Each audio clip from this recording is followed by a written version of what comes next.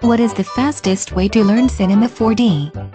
You'd probably like Cineversity.com. The site has everything a brand new user needs like how to install the application and create a basic model, add texture and animate it.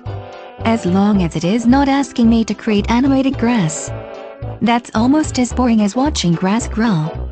Cineversity has lessons on making a party bot, creating this environment and moving it. At least they get points for being interesting. Once you get past the basics of Cineversity, I'd recommend Cinema4dtutorial.net.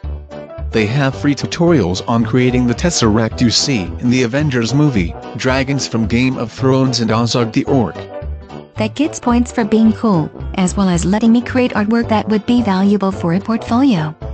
I think their best one is a tutorial on making 3D tattoos on a character and having them transform into something else. I need something that gets me from knowing nothing to doing work like that without taking months at art school. DigitalTutors.com has excellent Cinema 4D, from setup to animating any number of items. The only thing it has you probably would not want is the price tag. While free is ideal, low cost is an option, especially compared to the expensive classes I've seen. Anyone who says artists are not starving is not paid to sit in one of these animation courses. Then you'll love the TutsPlus.com Cinema 4D classes. I said I am willing to pay for quality, but cannot afford a lot of the top-notch CGI classes.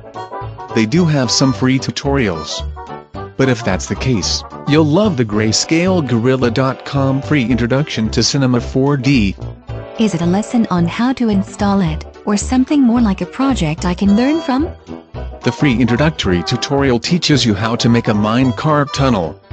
They do have more advanced tutorials too, like how to move Cinema 4D things into Cineware and After Effects. Now I know where to go when I know more than the beginner stuff. Do they have a YouTube channel? Grayscale Gorilla has a Vimeo channel.